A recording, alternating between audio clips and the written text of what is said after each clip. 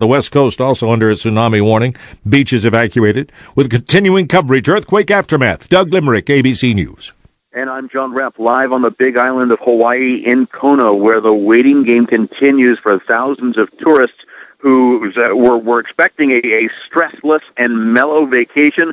That turned into a scramble for high ground last night at about 10 o'clock when the first tsunami warning siren kicked in.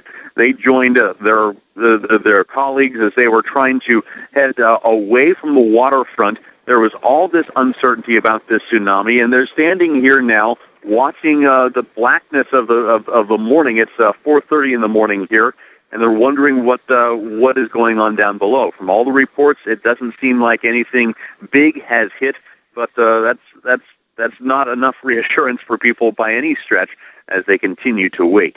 I'm John Repp, live on the Big Island in Hawaii for KOMO News Radio. And Kent Phillips from our sister station, Star 101.5, was in the evacuation zone along the Kona coast. Got a call that said we had to leave. And that they really, when they tell you about that, there's no, you don't have any option. You just have to leave. And so we got our car and uh, we head to higher ground, and that's where we've been. And we left probably, it's been four or five hours now. And he tells us there seems to be no major damage where he is right now. The biggest waves expected to hit the Washington coast should reach the shores within the hour.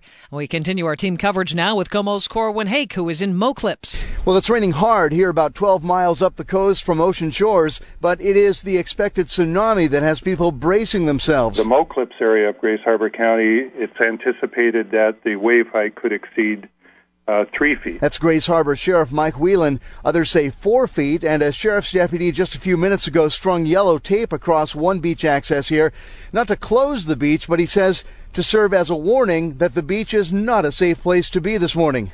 In Moclips, Corwin Hake, KOMO News Radio.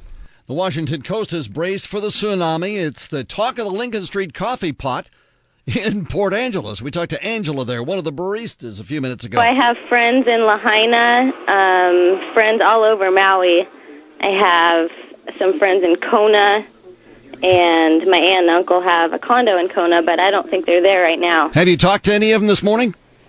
Um, I have not. I have been trying to get a hold of my friends in Maui, but I imagine everybody else in the world is trying to get a hold of them. Now, one of her customers has family in Astoria, Oregon, too. Thousands of Oregonians have been evacuated already. Astoria, Oregon is where we find KOMO's Carlene Johnson this morning. She is live with us now. And Carlene, I understand there are long lines at the gas stations there.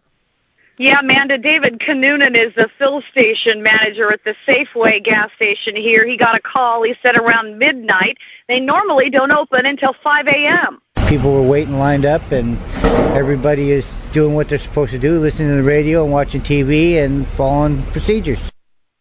Yeah, he said about a hundred cars were in that line when he finally got the pumps up and on this morning. I've seen a steady stream of cars pull in, but no mass evacuations. Now, the Safeway store right across the lot, pretty full, people coming in and out. I, I just talked to a young couple who said they got a call at about 1 this morning. They live in Long Beach, and they got a call, one of those reverse 911 calls, warning them to uh, get out of the area if at all possible. So they packed up their two young ones and a couple of sick kids in the back of the car. They weren't happy at all to be looking for a hotel now in the area to stay safe for the night. It is, uh, or some for the day, I should say. Sometime after seven this morning. It's only about half an hour from now. The first waves are expected to be seen in this area, anywhere from a foot to potentially several feet. Live in Astoria, Carlene Johnson, KOMO News Radio. You might be wondering about the Washington State ferry system also with the expectation or the uh, the watch for the tsunami waves. No changes in the Washington State ferry schedule. Everything's running as usual. There are some changes for schools along the coast, though, and we'll get to that next. KOMO AAA traffic and weather every 10 minutes on the force. Mary Whitish is watching the drive. Yeah, we have slow traffic on I 5 southbound now, stretching from just south of Sierra at 104 to 145th, where we have a collision with vehicles on both the right and the left shoulder. So, not a blocking issue, but definitely a distraction. A stall westbound 520 on the ramp to northbound I 5 was just cleared from the lane over to the Gore Point, so it's sitting in that little triangle area. Just a minor distraction there. Northbound 405 starting to jam up from the Maple Valley Highway, heading past Park Drive over the Kennydale Hill. And southbound 405, you're going to now find off and on slowing from Beardslee Boulevard past Sierra at 522. Also, no Sounders uh, rail service between Everett and Seattle again this morning because of that mudslide. So they're deal- dealing with that situation. There will be bus service provided, and also Jovita Boulevard remains closed between West Valley Highway and 114th because of the mudslide yesterday morning. I'm Mary Whitish in the KOMO AAA Traffic Center. Now, this forecast is for a partly sunny day today, believe it or not, with isolated showers. High is going to be 51. Morning rain tomorrow, but then possibility of sun breaks in the afternoon and a high of 50. It's going to be a rainy Sunday and uh, windy also 52 for a high right now it's 40 in downtown seattle it's now 636 at KOMO news radio we want to get back to our coverage of the 8.9 earthquake in japan and tsunami because of the tsunami advisory in washington the following schools are closed today Cape Flattery School District, North Beach, Ocean Beach School District, and Taholah. Those are all closed. And running two hours late are the Aberdeen District Number 5, Cosmopolis, Hoquiam, Raymond, South Bend, and Willapa Valley. And again, all these changes are on our website, komonews.com. Few flights in and out of Seattle are canceled today because of the earthquake and tsunami. At least two flights due in from Tokyo are canceled. One flight to Bangkok this afternoon is canceled. As always, the advice is to call ahead to make sure your flight is on time. This earthquake in Japan and uh, the following tsunami warnings have affected people uh, all over half the world, really, watching for this thing. Casey owns boats in the Aleutian Islands of Alaska, and they were warned about the possibility of the tsunami affecting things up there. Casey, uh, what have you heard? I just heard that through a couple of my friends around the boats right now that they had them pull away from the dock and uh, keep a distance from the docks so they don't get washed up on shore if the thing hits. I heard that that uh, some of the waves had already hit that area. Did you not hear that? Yeah, they they said a few of them did, but they didn't know if anything was to follow. And what hit up there was not very big. Uh, most of the vessels, you know, and most of the most of the weather in the Bering Sea is generally quite nasty. Uh, so what they what they've seen so far is, is not nothing compared to a big windstorm, but. Uh, but usually they don't get in that close to the beach, and that's that's where you run into an issue with any kind of boat. You see with the earthquake in Anchorage uh, and Kodiak back in the 60s, it pushed a bunch of boats up on the beach, and we're talking boats that are three to 400 feet long. Casey, thanks a lot, and uh, we'll be we'll be watching the situation in Alaska, all along the Washington and Oregon coasts as well. We also heard from Andy Holloway of Seattle. He was in his home, 45 miles from Tokyo, 200 miles from the epicenter when this quake hit, 8.9. Started really rocking and rolling. The whole house was squeaking. It was too difficult to stand. It was actually an, enough roll to uh, to turn my stomach. He got out okay, but says it rumbled and shook for nearly two minutes. Well, there's going to be a, a, a major humanitarian effort uh, in Japan. You can bet on that, and World Vision already has people on the ground there. Some of our staff that live and work in Japan are actually disaster experts who have responded in places like Haiti and Myanmar themselves. Um, so we're certainly capable, and we can bring in our experts as well.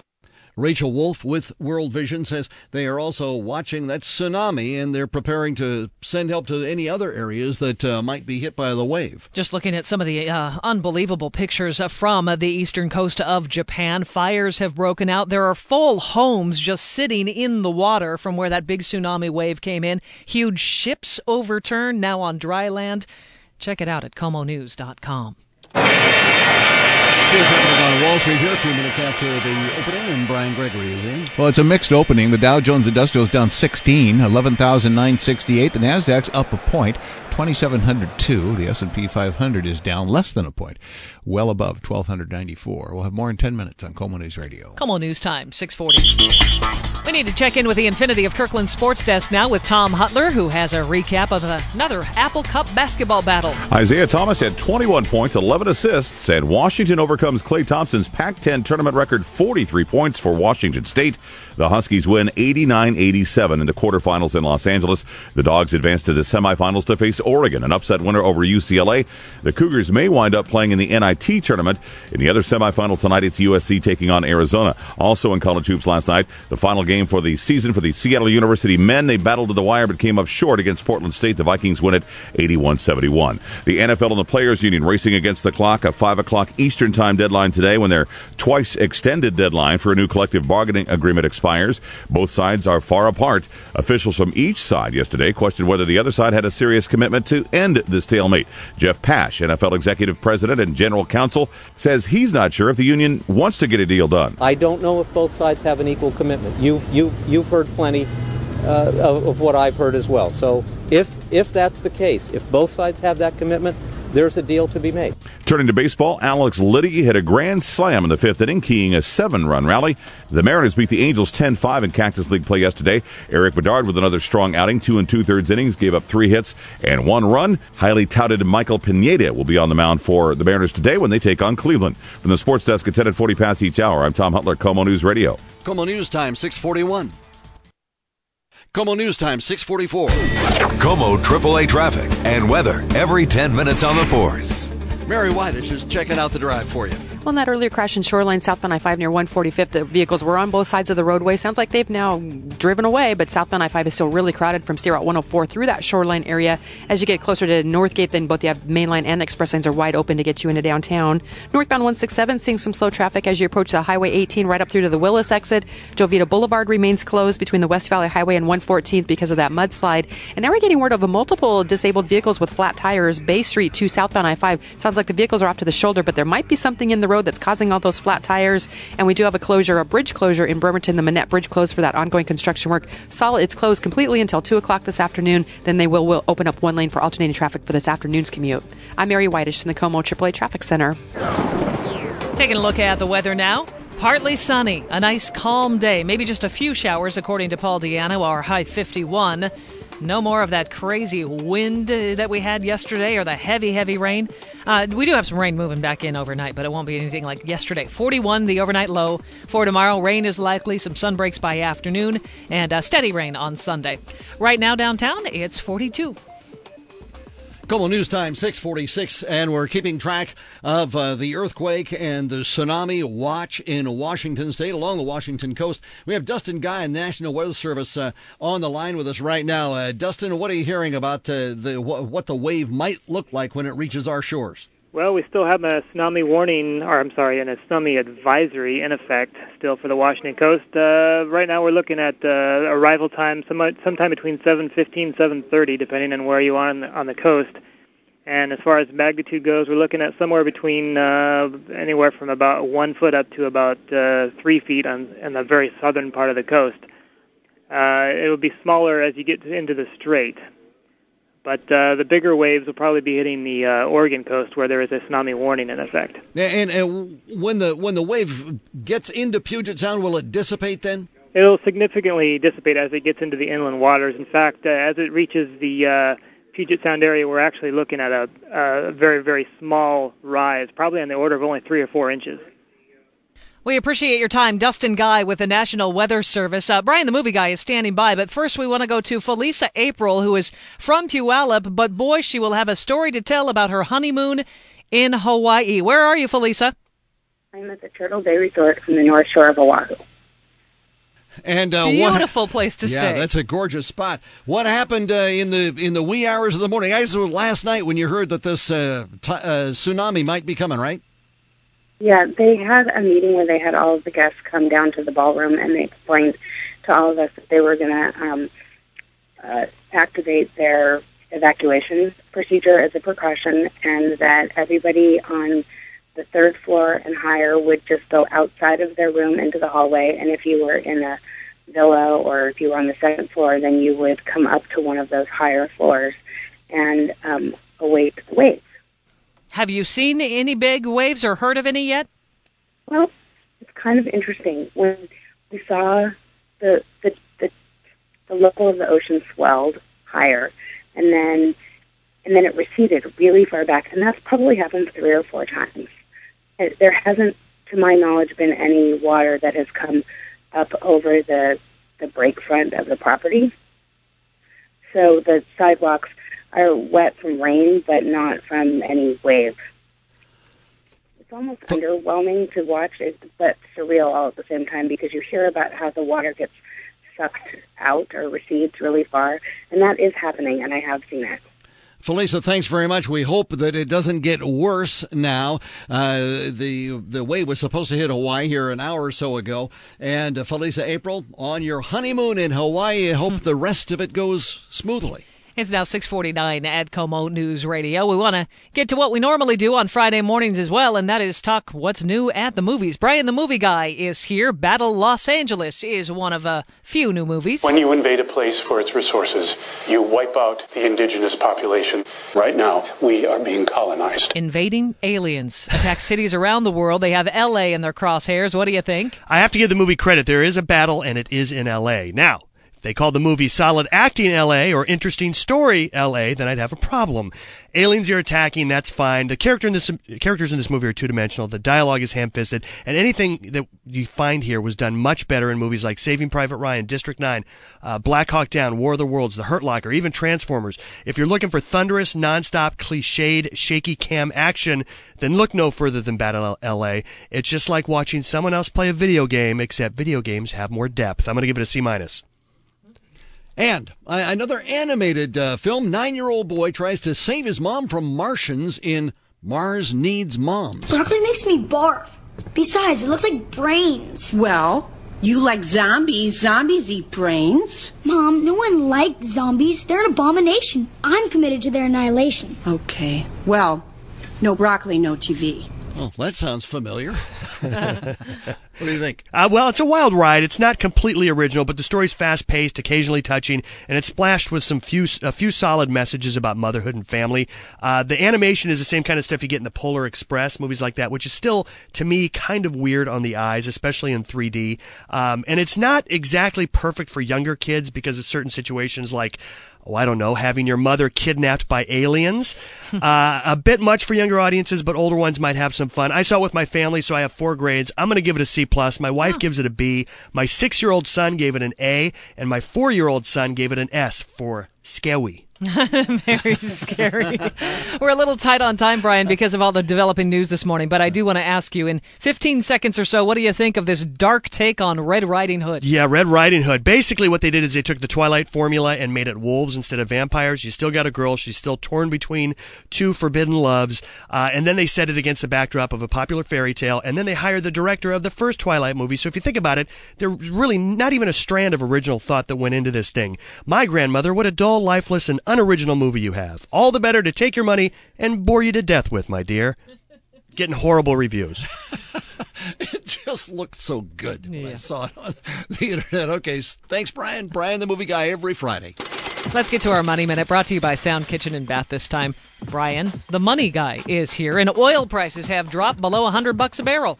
Yeah, it's the first time in more than a week, and this follows the massive earthquake spawning a tsunami that slammed into northern Japan, but oil down 280. That's uh, about 2.7% to 99.90 a barrel this morning. Now, keep in mind, Japan is the third largest oil importer in the world. It is still unclear at this hour how much its economy will be affected by the disaster.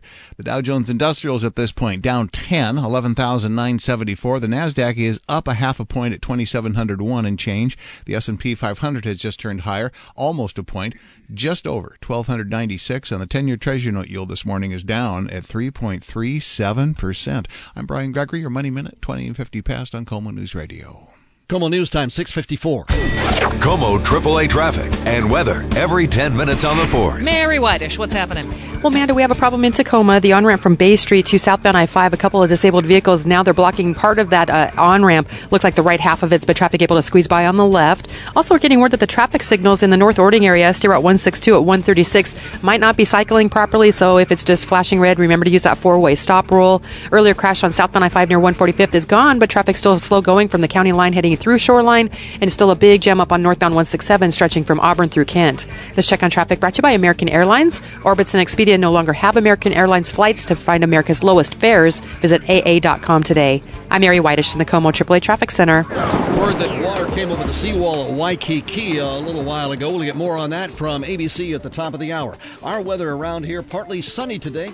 High is going to be 51. Our consumer tip of the day brought to you by BECU, a not for profit credit union open to everyone in Washington state. Check them out at becu.org. Here's her. Maybe you've seen the commercials. You can give your baby or young child the protection he or she deserves with a life insurance policy. It's a real pocketbook pitch. Rates are low and the policy coverage will grow. Get it now because your child's young and they'll qualify for a good rate. Cameron Huddleston is a contributing editor for Kiplinger.com. 30 year old who's in good health is still going to qualify for a good rate, so there's no need to rush out and buy a life insurance policy for a five year old. So, Cameron, bottom line, do you want to buy life insurance for your kids? No, you don't because no one is relying on that child's income because most children do not have income unless, you know, your child is some sort of child actor and you're relying on that child's income to support your entire family. And that's the key. Life insurance is meant to pay the bills if something happens to the breadwinners in the family. By the way, many children's life insurance policies are whole life, generally the most expensive way to buy life insurance.